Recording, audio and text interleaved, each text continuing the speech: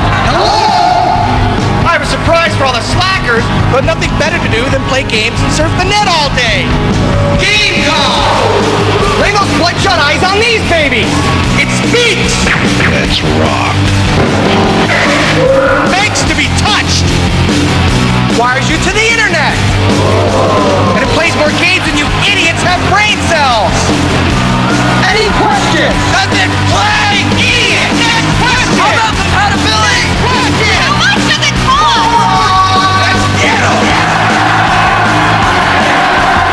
Game.com, the ultimate portable gaming system. Hello, you lovely people, and welcome back to my channel to another episode of Handheld Recap. Now, I'll tell you what, guys, this is an infamous one, this one here. This model is actually a uh, second edition of an already very rare handheld. But this is hyper rare, guys, because I'm talking about the Game.com that was made by Tiger. Yeah, Tiger, who make those, uh, yeah, what some people consider absolutely horrendous uh, handhelds back in the 80s. Um, that just had one game on them and uh, played like crap. But yeah, they actually made a whole handheld with small but a library of games. So yeah, as I said, guys, the first version was already, or is already, very rare. But this one, guys, you can't get for gold dust. You really can't. These ones are so rare, in fact, that you basically only ever see one, maybe two a year pop up even on eBay. And when they do, they go for an absolute wad of money. This is the backlit version, guys. Yep, this is the game.com. And as you can see there, guys, it says Pocket Pro. And it has a big switch saying light on it. That's because this one actually has a light, which is a massive improvement, but still didn't save it, guys. It did not because it's got an awful screen in it. It is one of the worst screens in any handheld I've ever come across. It really has. And as much as I love this thing for its weirdness and its, uh, you know, obscureness, I do love it. Um, it is very, very odd. Now, what they did with this one, guys, they tried to improve it, obviously, by putting that light in it. Um, the light is uh, not exactly brilliant, but it, it was certainly better than the original model. But they also sacrificed for that because on the original model you had two cartridge slots, and on this one you've only got one. So there was a sacrifice made there. But the form factor is much nicer. It is uh, a lot nicer looking. Oh, just so many things, guys. You saw the images coming up of the original one there. Um, but yeah, this is the one I'm recapping today. And as you can see, guys, we're looking at the front here, and you have an A, B, C, and D action buttons. You have a D-pad, which, yeah, isn't too bad, to be fair. Then you also have, oh, my ugly face. Then you also have the on and off switch there. You have menu. You have pause. You have a speaker over there. That is your indicator light.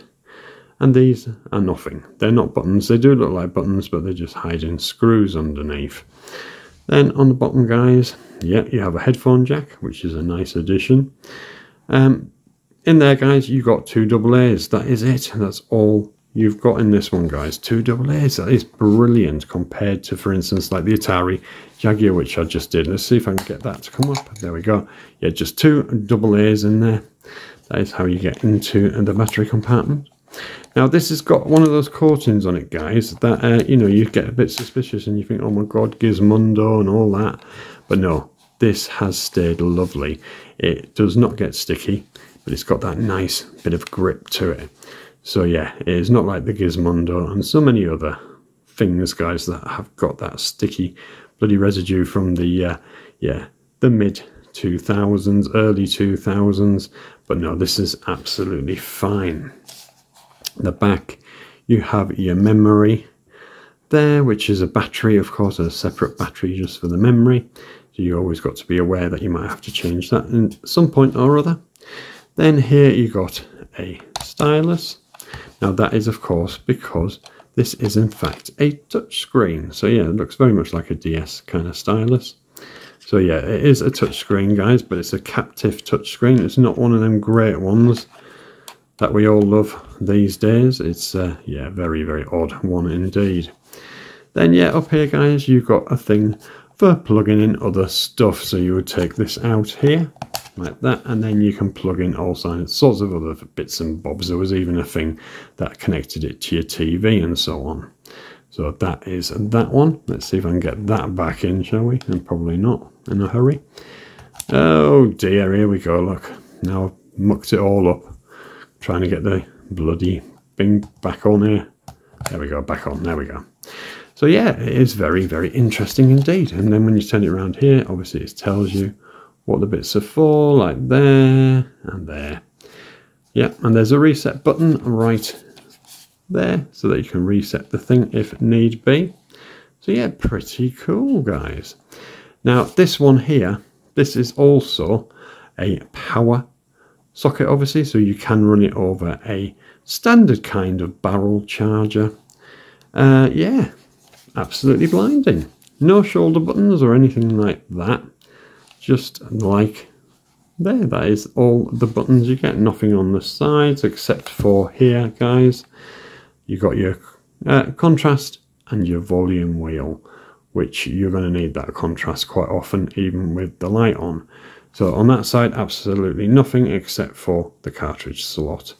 I say absolutely nothing, then I go, oh, uh, uh, uh, uh except for the cartridge slot, uh, uh, except for the contrast, and you know what I mean. Yeah, there we go. So yeah, what a lovely machine compared to the original. Absolutely stunning. So in the box, guys, you also got, or should I say in this one, in this one's case, it came in a blister pack, and you did get some booklets like this. He says, moving him out of the way just for a sec. Go on, get out of the way for a sec. There we go. So you got some booklets like the ultimate portable game system. What a fucking lie. One of the biggest lies ever. The brand new game.com Pocket Pro. Mm, they really do like to live off the fact that, yeah. Oh, there's the original one right there. Look, that it's got a back light. Oh, should I say front light? Because it's more like a bloody front light. It is in front light, in fact. And yeah, it just shows you lots of bits and bobs in there to do with your new swanky, lovely. You can see how new with that computer there being ancient. Yeah, swanky handheld, what you can do. And then it also shows you the games like Castlevania there, uh, which never actually came out. Resident Evil 2, which did. Sonic, Duke Nukem, oh, all these different games, guys. All these different ones. Look. Some never actually appeared in the end. And a lot of them did. Right. Indy 500. Oh, the, the, you think, oh my god, they got some fantastic games there. But no, they were freaking awful the way they're played, unfortunately, you know, with that horrible screen and what have you. And they just weren't very good ports if they were a port like Resident Evil 2, guys. What an absolute pile of crap that was. And I'm going to show you that in a bit, but in better situation, shall we say, than using the screen on the actual unit itself. But there you go, guys. You can see there.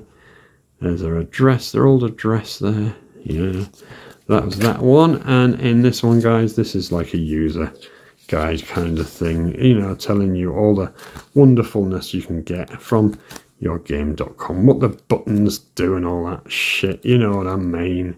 Yeah, it's just that, guys. There we go. So you've got them in your blister pack. Now let's pull him back in.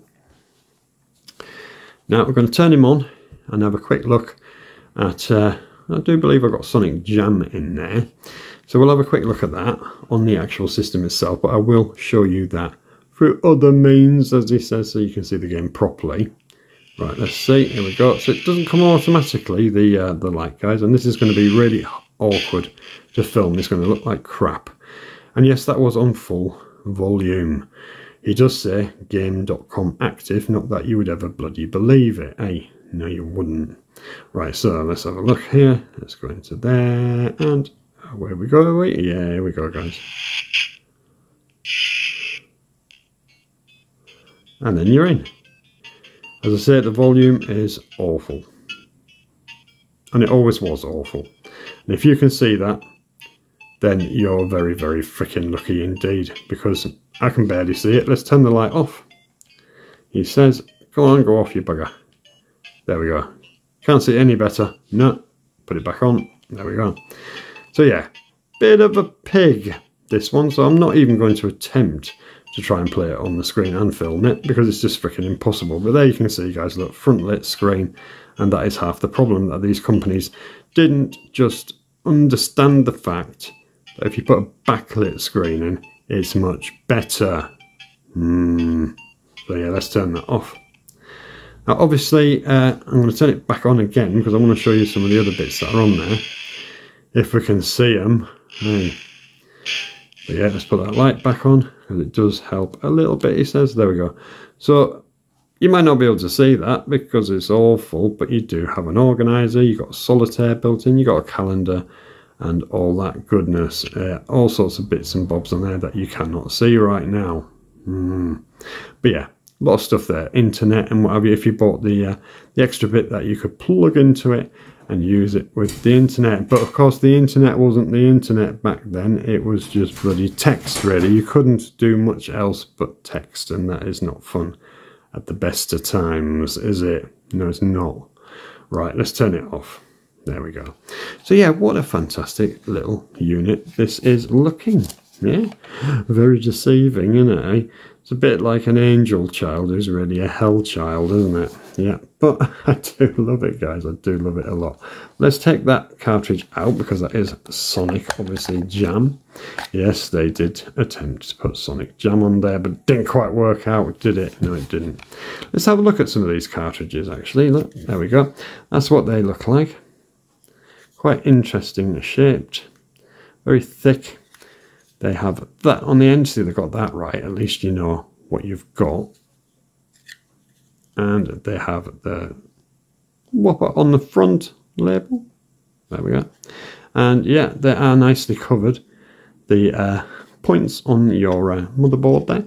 So yeah, that, that wasn't too bad at all, guys. And it has a bit of a pull to get it out of the system, even though I did struggle a little bit there, didn't I? Right, so that is Sonic. I've just grabbed a handful here to show you. You got Mortal Kombat here, but oh my god, is this a piss poor version? It really is, guys. Um, awful, awful game. But you know, you've got it. you can play it if you want. Oh, seriously, I mean, it takes it up a notch from Tiger and throwing legs at each other on one of their little handhelds, but um, yeah, not much of a level up. And you got Henry. Not much to say about that one. It's a bit shit. And you got, yeah, Fighters Mega Mix, guys. Another Sega one. Oh, dear God. If you've ever played the proper Fighters Mega Mix, like I said, the proper one. Uh, oh, oh, don't torture yourself, let's put it that way. Then you have this one here which I can't even remember what it's bloody called. He says, looking right at it, yeah, it's, it's a quiz show thing anyway. Cyber something or other, cyber trivia or uh, boring. Wheel of Fortune. And there's another one of these as well. There's a one and two. Just for all your Wheel of Fortune fun. And one of the best games on it. This is Batman and Robin. This was a packing game with the original. Uh, yeah, with, along with Lights Out. Hmm. It's actually pretty damn cool. The graphics on it are pretty superb. It has to be said, they really are pretty damn cool. But yeah, that is Batman. Hmm. So yeah, you can see guys, there was quite a lot of games on this machine, like I showed you in the book. But, oh my god, do they play like crap. Well, I'll tell you what we're going to do. We're going to take a look, like I said, at two games, guys. We're going to take a look at a Sonic Jam in a better light, uh, kind of, in a better way, and Resident Evil 2. And you're going to see what I mean, guys, by no matter what you do, even if you were to put a modern screen into this, it wouldn't make a freaking difference. They would still be absolutely crap. But at least you can see the game's actually playing.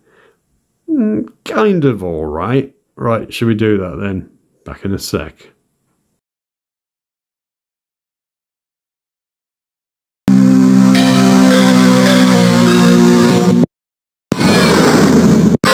Game.com active.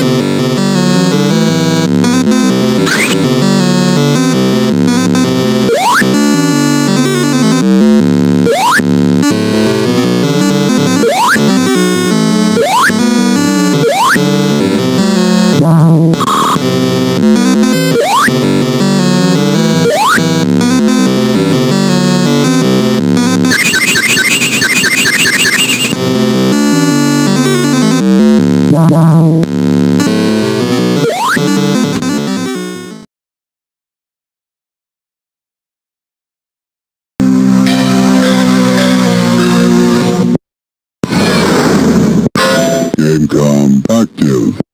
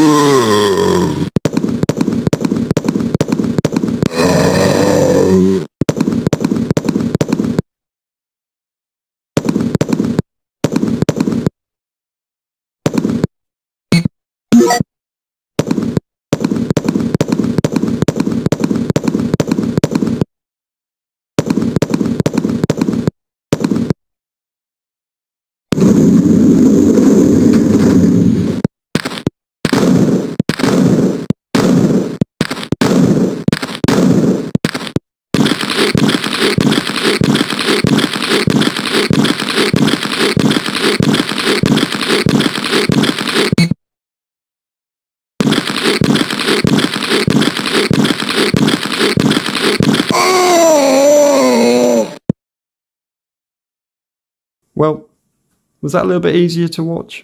Mm, I suppose it was a little bit easier to watch. But um, yeah, guys, um, I'm giving it a lot of stick, aren't I? But if you looked at my original unboxing video of this, you will know that my feelings on it are I love it. I absolutely love it. And it is one of the crown jewels of my collection because it is so, so hard to get. And I fought long and hard to get this one back in the day when I got it. So in that sense, I love it. I love the look of it. I think it's gorgeous looking, especially compared to the original model, as I keep saying. It is a beautiful, beautiful thing. And it's very, very obscure, isn't it? So you've got to love it. It is just so, so sad that oh, Tiger didn't jump more onto it.